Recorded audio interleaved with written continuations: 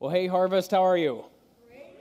Good. My name is Jeff Thompson, and I serve as one of the pastors on the pastoral staff at Harvest. I'm typically down at the cathedral. You may have heard last week I'm going to be down here uh, most weeks from now until August, and just really happy and thrilled to be with you guys. I think there's probably four or five weekends that I won't be, but other than that, uh, I'll be here and excited to be with you and look into God's Word. Uh, this week, we are finally looking at our last passage of Colossians. Does it feel like it's been three years to you? Because it kind of does to me. So go ahead and grab your Bibles. They should open automatically to the book of Colossians. Mine has tended to do that no matter where you want to go. It opens to Colossians just because of our time in it. And I'm grateful for our time in this book. I don't know about you, but I have learned so much from it. I've learned so much from spending the time together looking into God's Word. Uh, Paul begins the letter by talking about his thankfulness for the people of Colossians. Then he goes on to talk about the preeminence of Jesus Christ. He goes on, man, the deep truths of the gospel in chapter 2. That just like rocked me coming back to the foundations of what we believe and why we believe these things. And then uh, we're told in chapter 3 the things that we're to put off, the things that we're to put on, because Jesus Christ has changed our identity and has set us free. There's some things that we need to put away. And there's some things that we need to put on because of who we are, because of what Jesus Christ has done in us. And then he goes on and he tells us some guidelines of the ways that we're to live our relationships as God has given us those things in a way that honors him because of our identity. And then last week, we talked about the fact that we need to have wisdom in praying for wisdom and for discernment as we share about Jesus Christ. That we need to have wisdom in our witness. And we're grateful for this, all of these deep truths that Paul has taught us. So then I open the Bible this week and I get to verse 7 of chapter 4, which is going to be our spiritual food today. But I get to verse 7, and okay, maybe this is like true confessions in church here. Does anyone else get to a passage like this where there's like a whole bunch of names that are really hard to pronounce and you're like, really, Paul? Can't we go back to chapter 2? Can't we go back to chapter 3, all of the put off and put on? Do you see how many underlined things I have in my Bible? But I get, I get to a list of names. It's like a bunch of dudes who are hard to pronounce and, and they're just saying hi to each other. That's what this is here for? Does anybody else feel that way? Maybe it's just me. Okay, good. I got, I got like six of you who agree. Okay, good. Well, so um, I, I just get kind of confused by this a little bit, but then I'm reminded, you know, Scripture tells us, Paul tells us, in fact, all Scripture is breathed out by God, breathed out, and is, what's the word?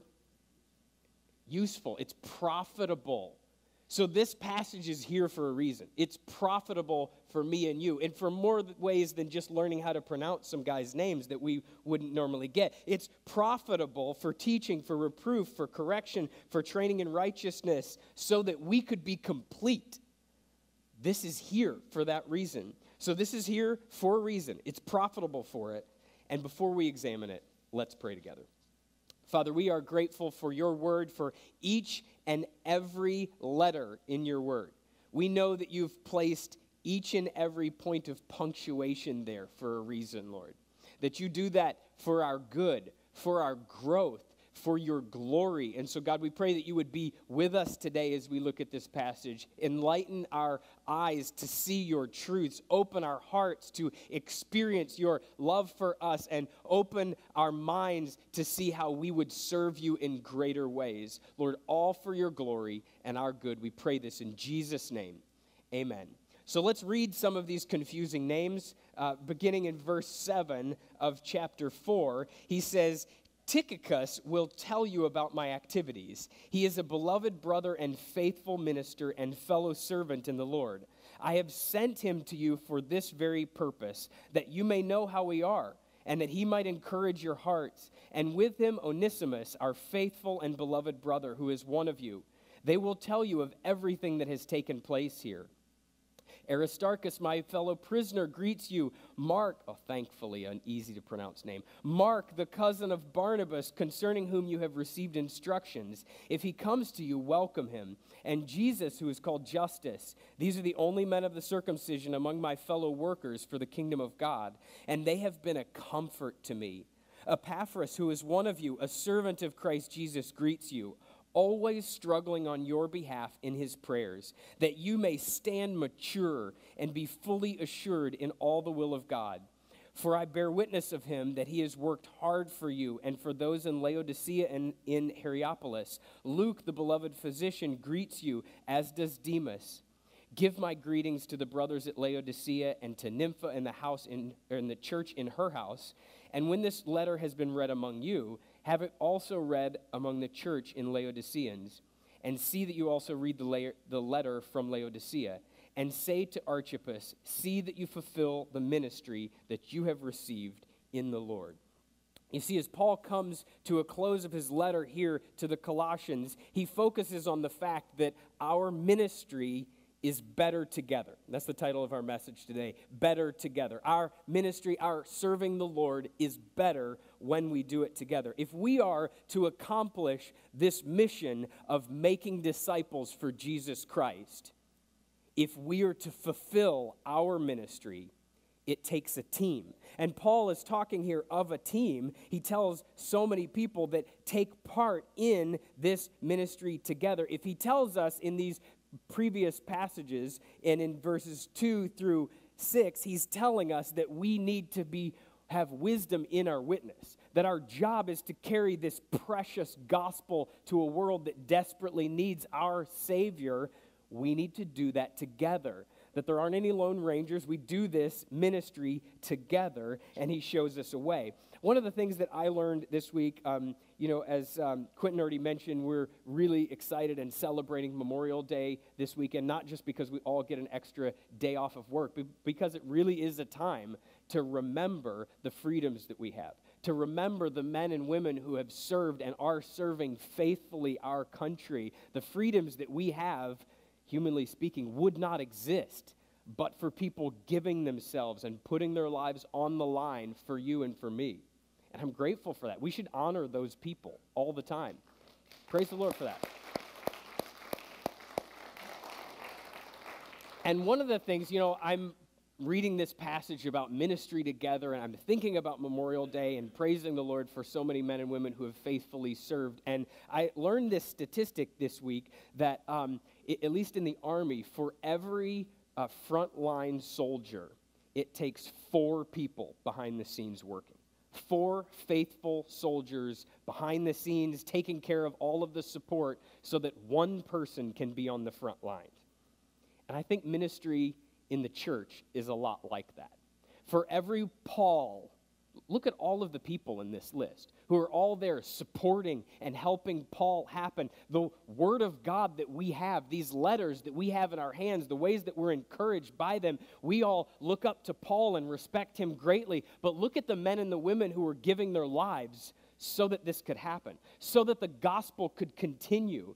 We need to be a part of a ministry team if we are to fulfill the mission that we have to reach the nations with the gospel. First, faithful servants bring encouragement. That's our first point. As we're looking at these different types of people and the different roles and all of the different uh, ministries that people shoulder for the gospel, faithful servants bring encouragement. So, what I want to do for the remainder of our time, I want to walk through each of these people who are hard to pronounce. And Mark, thank you, Mark. We're so grateful for you uh, each of these people who are hard to pronounce and tell you a little bit about them because they appear other places in Scripture, but these are the people who are serving faithfully behind the scenes. That their names are not written in lights. They don't they're not announced when they're coming to town or anything like that, but they are faithfully ministering. And I, I think there's a lot that we can learn from each of these people who are carrying uh, faithfulness uh, with the Word of God. So, first, Tychicus, he's a friend and a valued helper uh, to Paul. He and this guy named Trophimus uh, were two Christians who were chosen to, to take the collection of of money uh, and take that from Jerusalem to Corinth. You'll see that in 2 Corinthians 8, uh, along with some others that ac- accompanied Paul in his mission. With, he's with Paul here. So this Paul, remember, is at this point, he's in prison. This is his first imprisonment. You remember last week, he said, Pray that there would be an open door to the gospel, which is like my favorite dad joke in all of Scripture. It's, anybody else a big dad joke fan? Great, I got one. Excellent. I heard this this recent one, and, and it'll work for for uh, Pastor Jason as well. So I heard this recent one that uh, uh, a man and a wife were on their way to the hospital. She was about to give birth. She gives birth to a son in the back seat of the car on the way to the hospital, and the dad named him Carson. So, Carson, it, some of you will get that later. It's fine, but it, it's like a for my wife knows that a groan is just as good as a, as a laugh to me.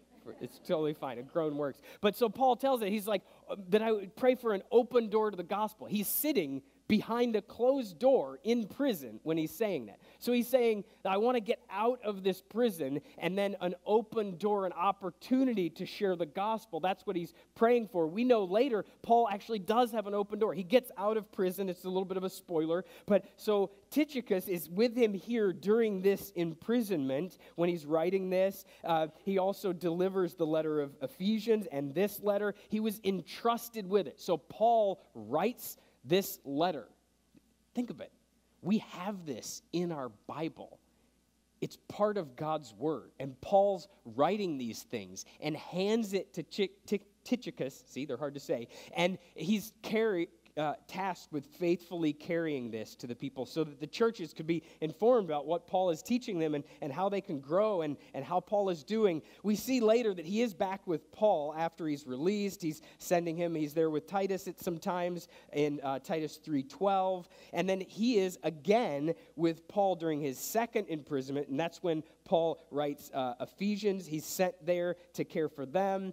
And um, then you see later that he's with Timothy in 2 Timothy 4 9. So you'll see this guy when you see him in other passages of Scripture. Just remember, this is the guy who was there. And Paul sends him, he's going to tell him, tell them about his activities. And he says that he is a faithful, uh, a beloved brother and a faithful minister and a fellow servant. The other guy who's listed here, um, is Onesimus. Now, Onesimus, if you've read the book of Philemon, this is the guy.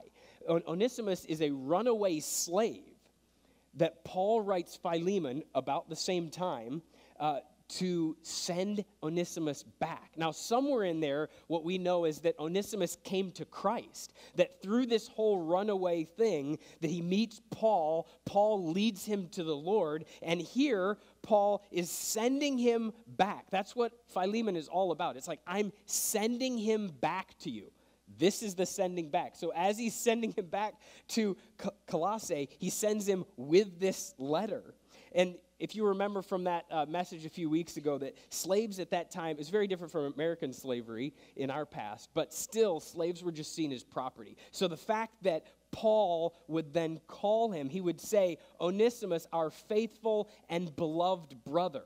The fact that he is taking somebody who's a slave and saying, He's a part of my ministry team, and I'm sending him with this. That is a huge statement to the people of that day that he's sending them. Now, these men, they weren't famous. They, they didn't have their names in lights. They weren't um, uh, flashy or anything like that, but they were dependable. Paul knew that he could count on them. He knew that he could count on them to carry his message, this message of Scripture, to these people. What would have happened if Tychicus and Onesimus were not faithful?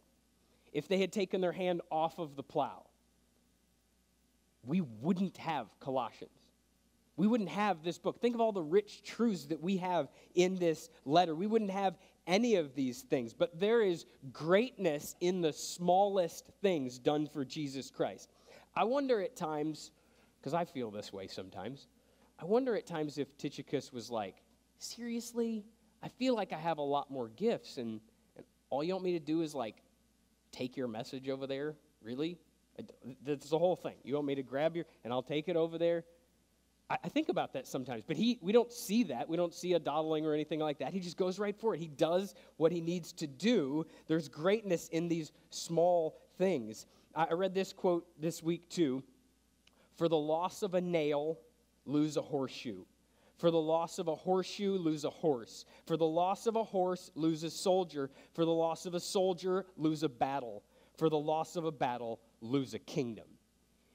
Each one of us play a part in faithfulness, in carrying the ministry of Jesus Christ. And whatever your part is, whatever nail you feel like at the time, each part is important and is a part of the kingdom of Jesus Christ. And if we want to see the kingdom of Jesus Christ reign on this earth, and I think we do, if you want to see your friends, your loved ones, your neighbors, the people down the street, the people across the world, if you want to see them come to Jesus Christ, to turn from their sins and trust Jesus Christ by faith, the way that that happens is keep your hand to the plow.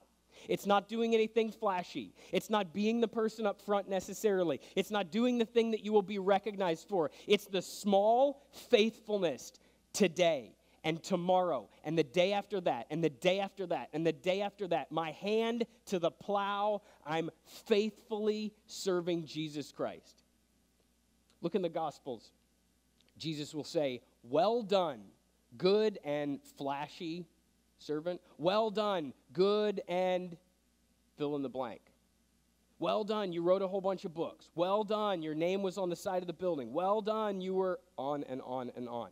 People knew your name. You were recognized for it. You got a lot of thank you cards, whatever it was. Well done, good and faithful servant. Enter into the joy of your master. That's what we're about.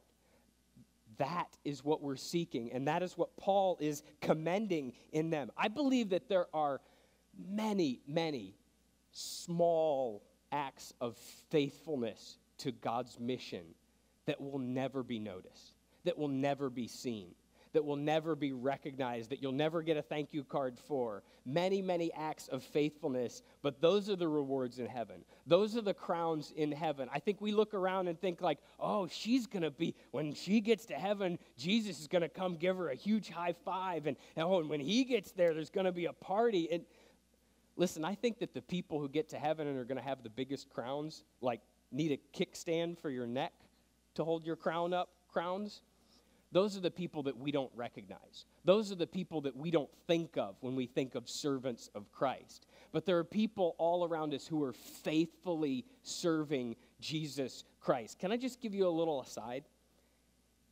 What I want you to do is right now, write down, as I'm saying all this, faithful people behind the scenes, every one of you can think of somebody. Maybe they go to Deerfield Road, maybe they're at another campus, maybe they're at another church, whatever. Write down that person's name.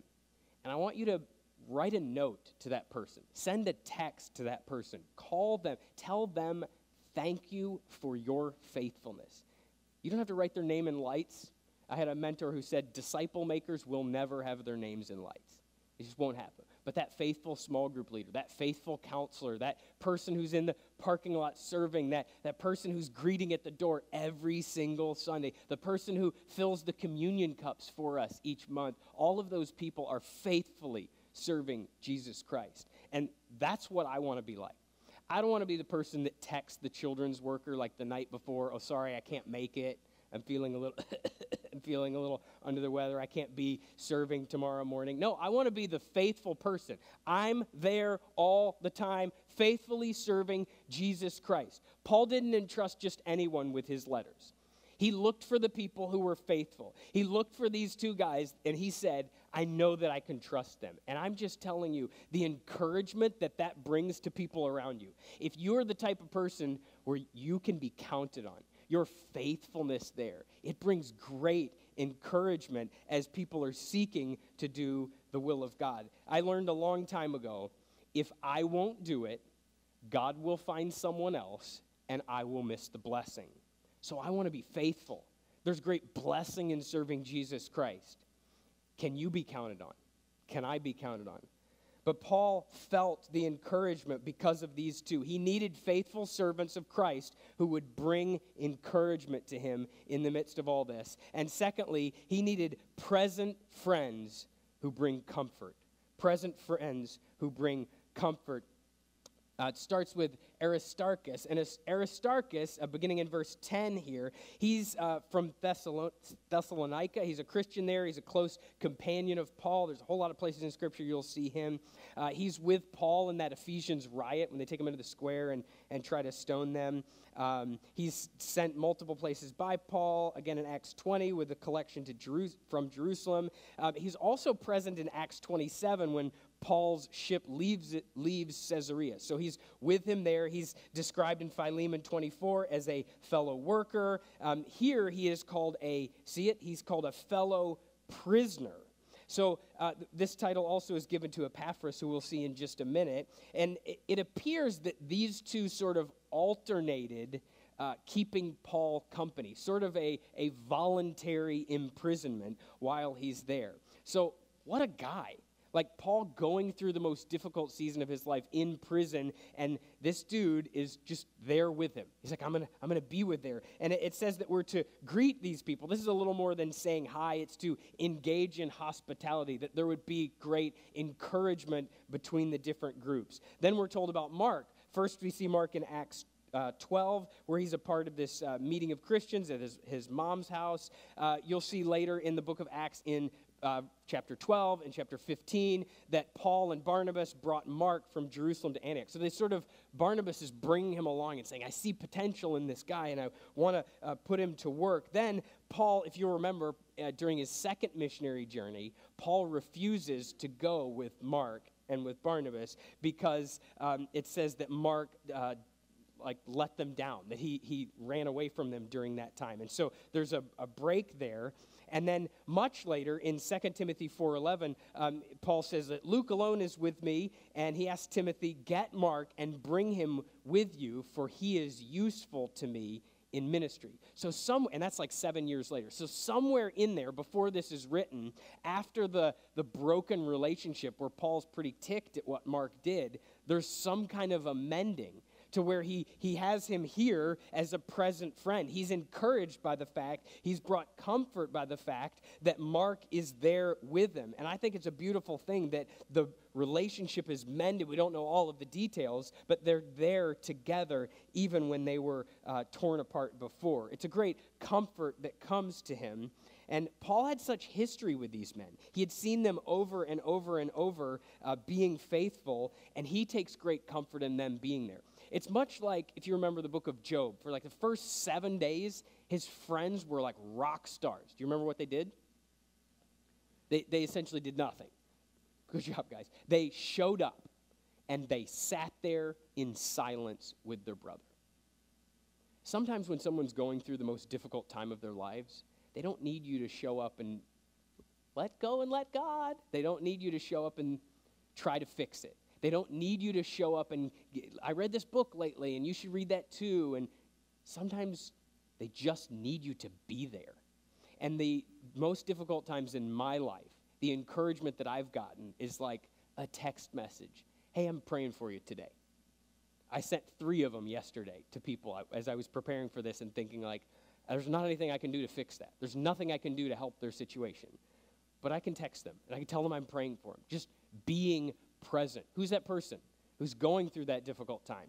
And you just need to shoot them a little note, thinking of you, praying for you. I'm here if you need me. That's all it takes sometimes. That's all it took for Paul to bring great comfort to him. In the midst of his darkest day, a present friend is great comfort to him. And third, hardworking intercessors bring strength. Hardworking intercessors bring strength. He begins by saying, Epaphras, who is one of you, a servant of Christ Jesus, greets you.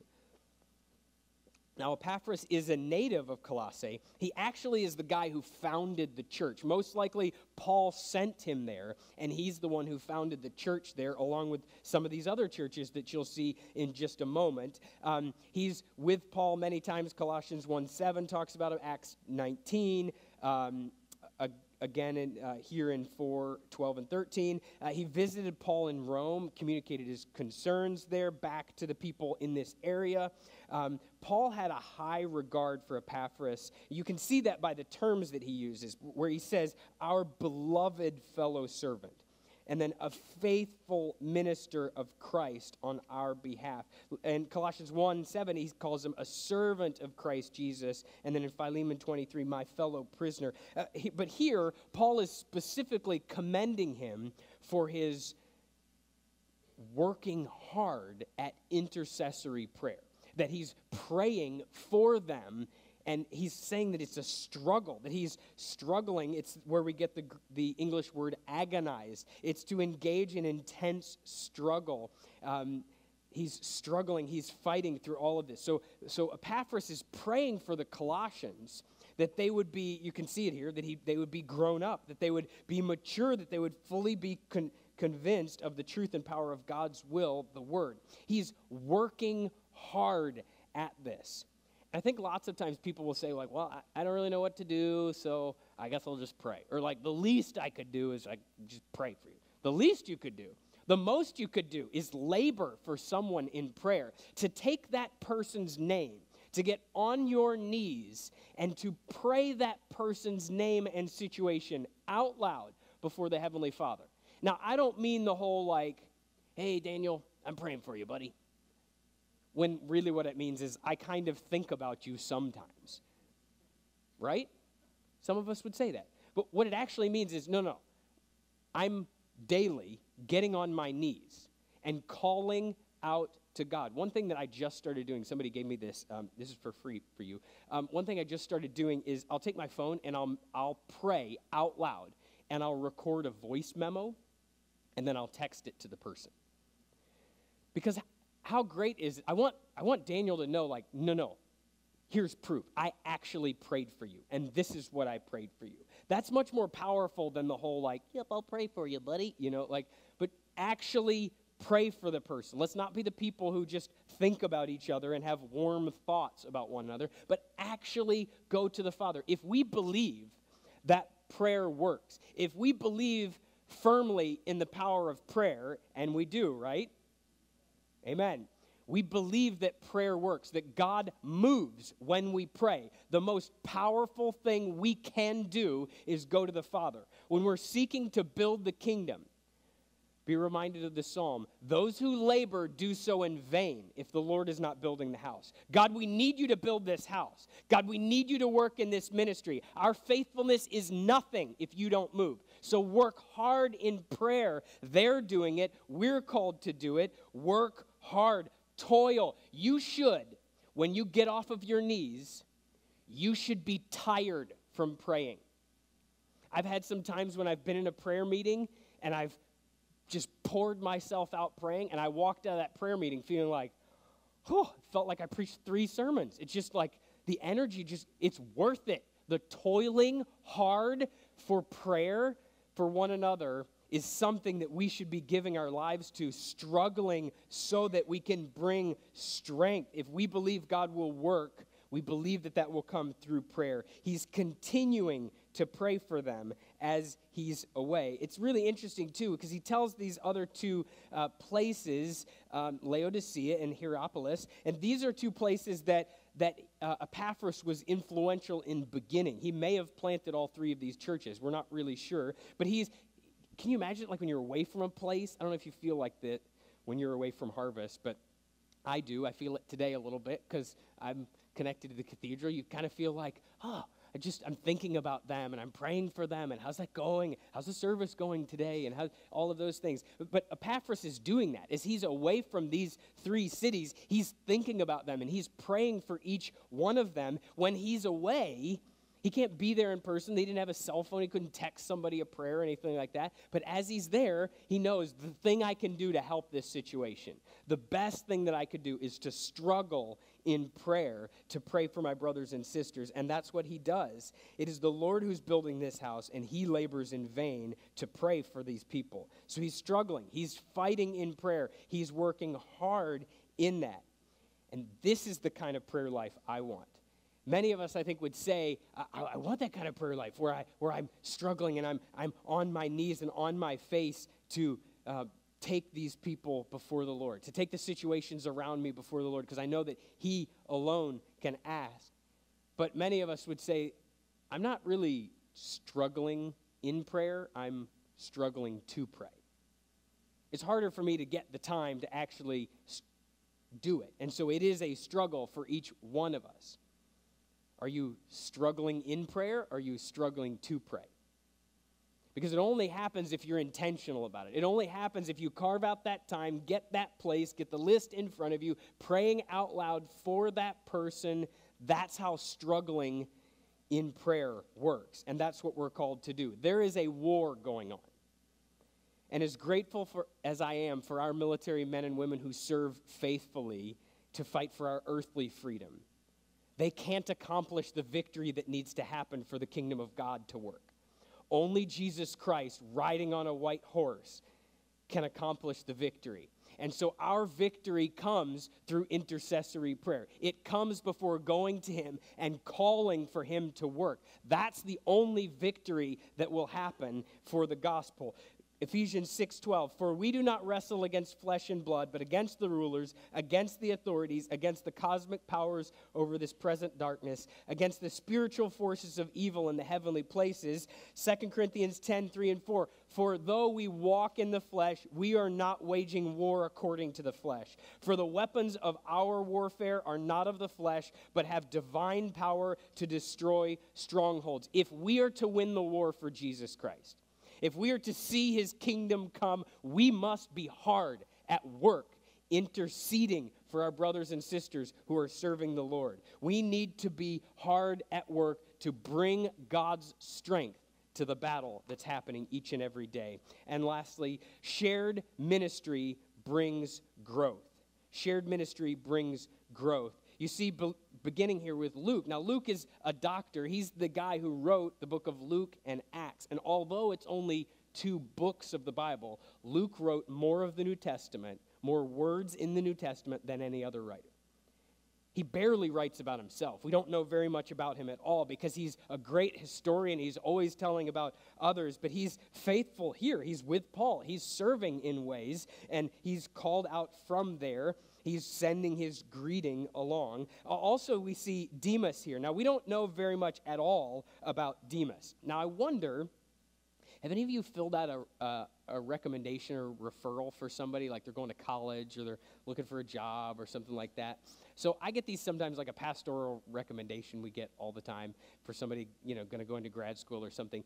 And the people who I know really well and are faithful servants and they're doing a ton of things, I have a lot to say about these people you know. If I was going to fill out a, a recommendation for Daniel, it would be a long page, lots of faithfulness in his life. But there's some people who I fill out a recommendation for, and there's not a lot of words on that page. You know, I, I want to be gracious, and they're like, yeah, yeah, she's all right.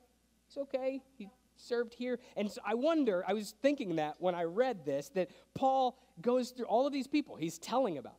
They're faithful servants. He's, he's greeting you. He's like all of these people. And then he's like, as does Demas.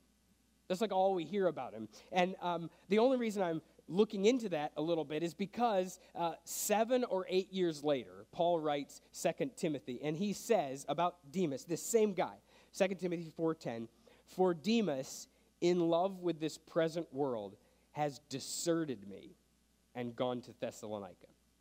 He's deserted He's run away from him. And we don't exactly know why, other than the fact that he was in love with this present world. It wasn't a lack of courage, it wasn't a lack of ability, probably. It was a lust for material things. It was, I want the things of the world. And that was his downfall and why he deserted Paul through all of this.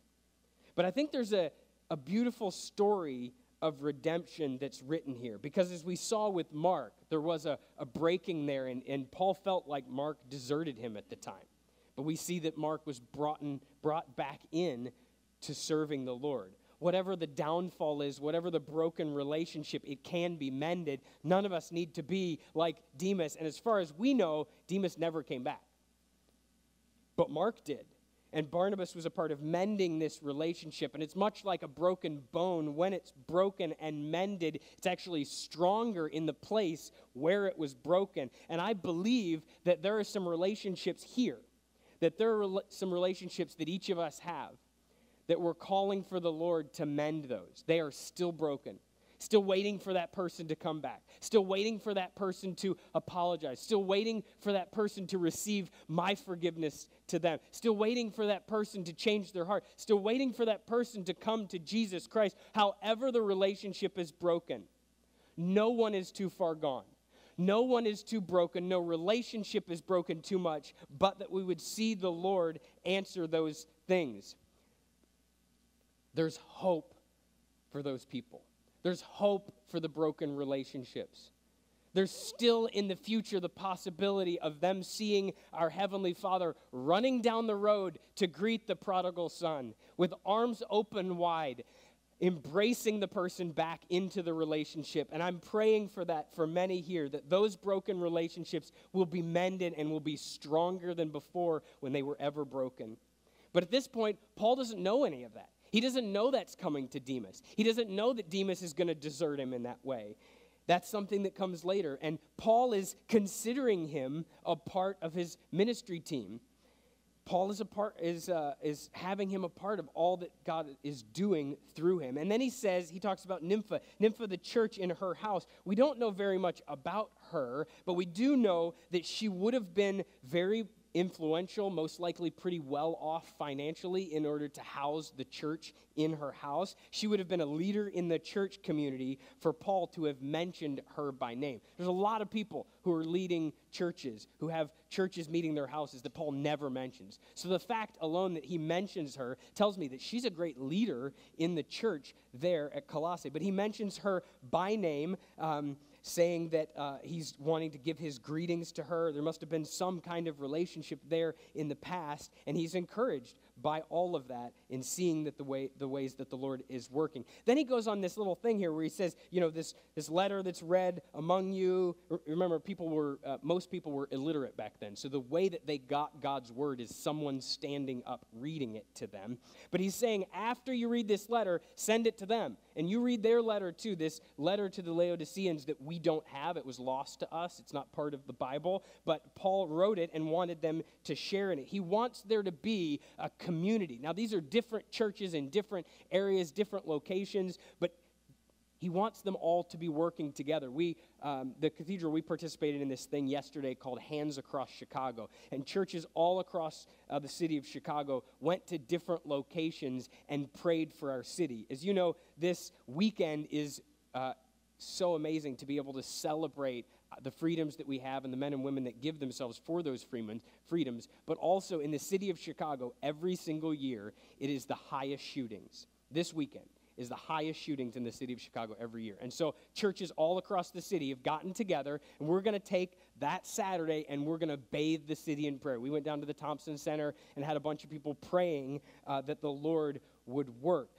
Here Paul is looking for, he's hoping that the churches would have great unity. You're different. You're in different areas. You have different pastors, but I want you to all be together in the unity of the gospel. That's what uh, he's going for here. This last person that is mentioned is Archippus.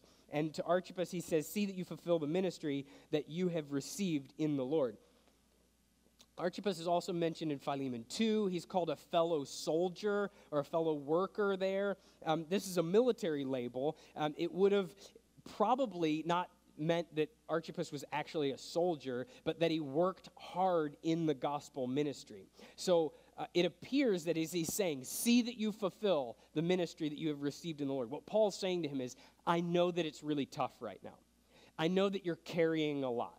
I know that you have a lot of heartache for the people that you're serving. I know everything's not going the way that you want it to. It's not smooth right now. Fulfill the ministry. Keep your hand to the plow. That's what Paul is telling him here. Now, I can hear this. Can, can you hear Paul saying this to him? Think about it. Archippus, who's a faithful minister, but he's going through a really difficult season serving the Lord. I can hear Paul saying, Hey, Archippus, Fulfill the ministry that you have received in the Lord. Get on with it. Let's go. But I can also hear Paul saying, hey, just putting his arm around Archippus. Hey, man, hey, brother, fulfill the ministry. I know it's hard right now, but God is faithful. Keep your hand to the plow and be faithful, and you will hear him say, Well done, good and faithful servant. Whatever the case, the message is the same.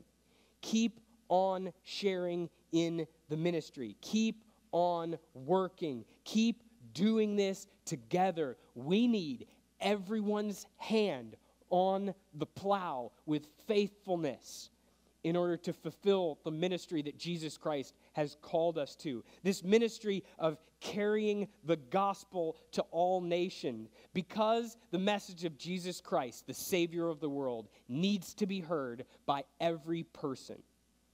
Every man and woman who you work with, every person at your school, every person on your street needs to hear the gospel of Jesus Christ.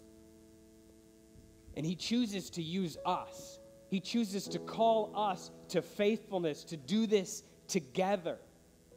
And so the call to you and to me would be to keep our hand to the plow, to faithfully see Him building it together through each one of us. All of us pulling together, all of us seeking His glory. And I love how Paul brings this letter to a close. And as we come to a close, I want to invite the communion servers to come now and to begin to uh, pass out the elements. Just hold on to those. We'll take them together in just a moment. But Paul ends this letter in verse 18, and he says, I, Paul, write this greeting with my own hand. Remember my chains. Grace be with you. Paul signs the letter with his own hands. He, he tells them to remember the suffering that he's experiencing because of the gospel of Jesus Christ. And then he says this little statement. He actually begins the book with it Grace be with you. That all we've talked about, about the gospel of Jesus Christ, all that we've talked about, about Christ on the cross in my place, that I deserve sin and death, and yet Jesus Christ died for me, and what I get instead is his grace his righteousness, that there's incredible guilt that I have because of my sin.